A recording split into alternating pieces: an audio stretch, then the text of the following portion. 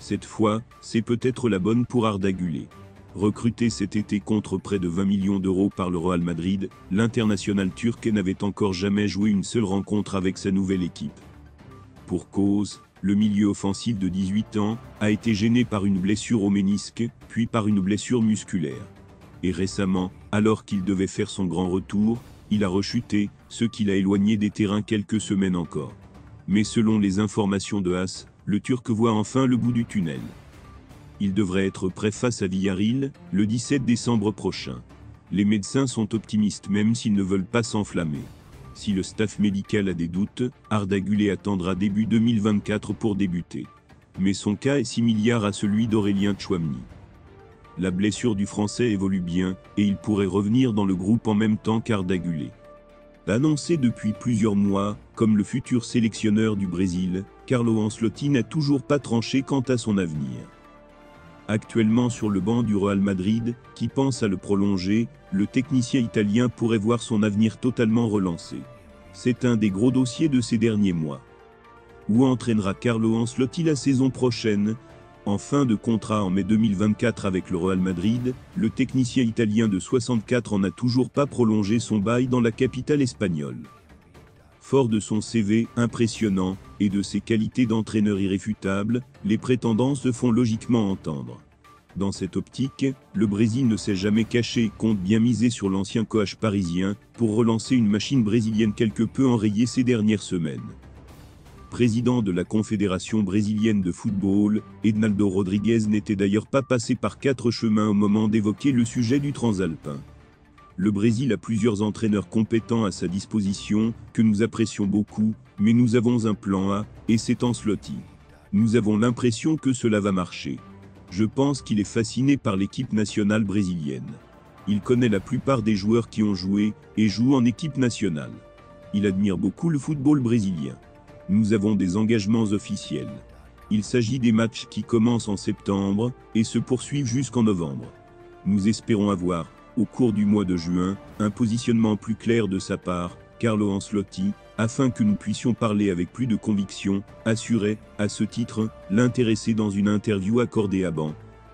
Un sorti sans équivoque confirmant l'intérêt de la sélection brésilienne de faire du Misté le successeur parfait de l'actuel sélectionneur intérimaire Fernando Dini.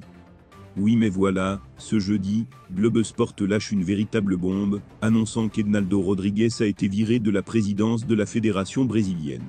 La raison Un accord passé en 2022 est jugé illégal entre le boss du Brésil et le ministère public. Ainsi, en août 2021, les vice-présidents de la CBF ont nommé Ednaldo Rodriguez président par intérim, jusqu'à la fin du mandat de Rogerio Caboclo en avril 2023. Dans la foulée, Ednaldo Rodriguez et le ministère public de Rio de Janeiro ont, quant à eux, signé un accord établissant de nouvelles règles électorales. Des règles permettant à Rodriguez d'être élu président de la CBF, en tant que candidat unique en 2022 pour un mandat de 4 ans. Et c'est là où le bas blesse. Des vice-présidents de la CBF ont contesté la signature de l'accord avec le député, estimant que Rodriguez ne pouvait pas signer cet accord, parce qu'il était le président intérimaire, et qu'il pouvait bénéficier d'un tel accord pour se présenter plus tard, si la CBF conteste cette version, la 21e chambre de droit privé du tribunal de justice de Rio de Janeiro aurait donc décidé de donner raison à ces derniers, poussant alors le dirigeant brésilien vers la sortie. Certes, l'officialisation n'est pas encore tombée, et le principal concerné peut encore faire appel, mais cette nouvelle relance totalement l'avenir de Carlo Ancelotti. Acteur central de ce dossier, Ednaldo Rodriguez pourrait, en cas d'éviction définitive, laisser le Brésil avec un énorme vide sur ce sujet. Nul doute, par ailleurs, que cette information devrait profiter au Merengue, aujourd'hui bien décidé à poursuivre l'aventure avec l'Italien. Dernièrement, le média espagnol Relevo affirmait, à ce titre, que le Real Madrid avait pris la décision de prolonger le contrat de son entraîneur, et l'avait également informé de ce choix. Plus encore, la direction madrilène aurait pour volonté de finaliser rapidement ce dossier et ainsi officialiser la nouvelle avant fin 2023. Un contrat de deux ans lui serait proposé, et Carlo Ancelotti a donc, aujourd'hui, de fortes chances de l'accepter. Loué pour ses capacités à développer les jeunes, et conforté par les hautes fers de la Casablanca, le transalpin, passé par le Milan, aurait de son côté donné sa priorité au Real Madrid, par rapport au Brésil. En attendant d'en savoir plus sur le très probable limogeage d'Ednaldo Rodriguez, Carlo Ancelotti se rapproche donc inexorablement d'une aventure prolongée avec l'actuel leader de Liga.